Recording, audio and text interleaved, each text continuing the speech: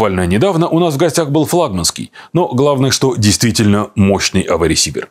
Эмотива MR1, заточенный под очень просторный домашний кинозал. Ну а сегодня рядом со мной идеально подходящая для него акустика. Это действительно гигантские и тоже флагманские башни Эмотива XT3, помимо которых в единственной пока у Эмотива линейки Air Motive есть немало других интересных моделей.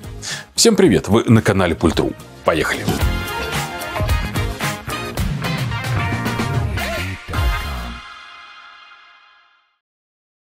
Акустика эмотива Air Motive сделана в рамках той же философии, что и компоненты эмотива.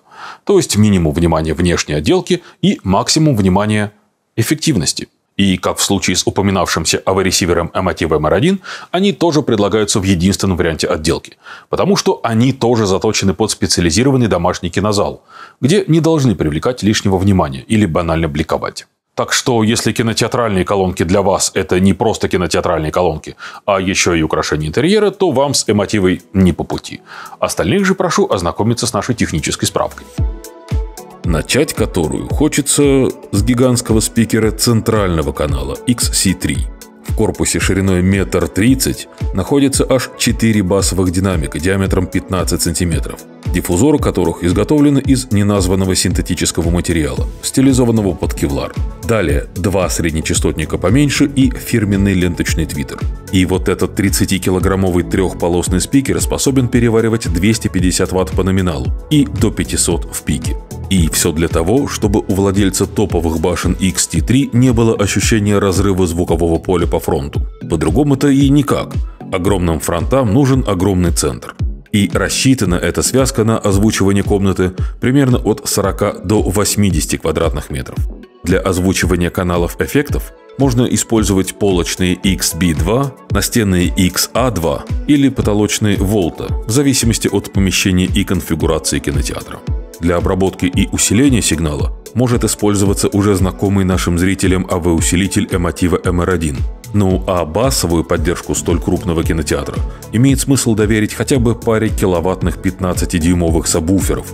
Но вернемся к башням XT3. Они еще больше и тяжелее рекордного центрального спикера. Примерно метр двадцать пять в высоту и 42 килограмма каждая. Конструкция максимально рациональная снабженный внутренними переборками корпус из МДФ с отделкой под кожу и передней панелью, окрашенной матовой эмалью, тканевые грили на каркасе из HDF с магнитным креплением и полимерные консольные опоры с мягкими подушечками. Сожалению, почти одноразовыми. В этой связи посоветую производителю выбирать более подходящий материал, который не будет заминаться и рваться после первой же коррекции положения колонок. Впрочем, если сразу прикрутить к колонкам комплектные шипы, то подушечки останутся целыми в любом случае.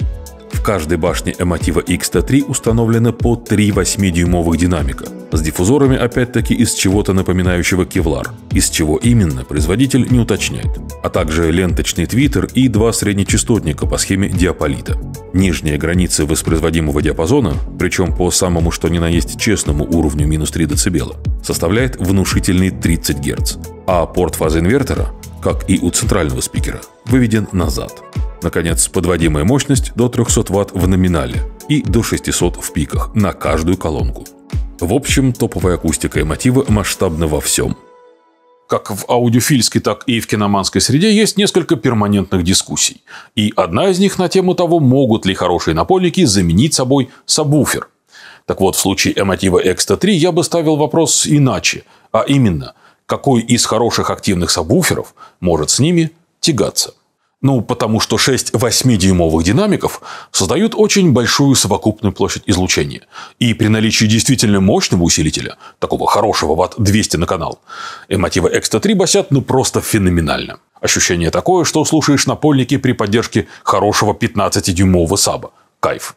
Но тут стоит оговориться, что все свои лучшие качества Emotiva Extra 3 проявляет в действительно просторной комнате, ну примерно от 40 метров. Тогда как если площадь вашего кинозала находится в диапазоне от 30 до 50 квадратов, то можно неплохо сэкономить, выбрав вместо XT3 более компактную модель XT2 и заодно к ней центр XC2. Да, такой басовой феерии двушки не предлагают. Но в кинозале средних размеров и при поддержке хороших сабвуферов они ведут себя, ну я бы не сказал, что сильно хуже. И по динамике, и по неискаженной мощности для среднеразмерного кинозала двушки проходят с большим запасом. Но при этом они заметно компактнее, чем трешки и, как я уже говорил, дешевле. Но если вы обожаете классный бас и у вас действительно просторный кинозал, то на фронт нужно брать, конечно, XT3 и на центр, соответственно, XC3. Ну а на остальные каналы, что в большом, что в среднеразмерном кинозале, нужно вешать спикеры эмотивы, подходящие по конструкции. Полочники, настенные или потолочные. Приятный нюанс в том, что колонки эмотива имеют сопротивление 4 Ома и чувствительность в районе 90 дБ в зависимости от модели. И таким образом они сравнительно громкие в пересчете на каждый подаваемый на них хват мощности. Этот аспект и позволяет советовать эмотива X-3 и, соответственно, центр XC3 для озвучивания очень просторного кинозала при том, что в качестве ресивера может использоваться уже упомянутый эмотива MR1. Ну а если мощности MR1 в таком большом кинозале вам будет маловато, то к нему всегда можно докупить дополнительные усилители мощности. И таким образом показатели мощности для основных колонок будут измеряться уже в киловаттах. В общем, эти башни мне понравились. И хотя любителям джаза, классики и вообще винила в целом я их советовать никогда не буду, но, тем не менее, для построения домашнего кинотеатра они подходят великолепно. Ну, потому что помимо гигантской мощности, у них еще и подходящий для кинотеатра характер звука. Они плотные, энергичные и, когда требуется, хлесткие. И такой характер звука также отлично подходит для современной музыки. Впрочем, это уже факультативно. Ведь, как я уже говорил, колонки эмотивы заточены под специализированный кинозал.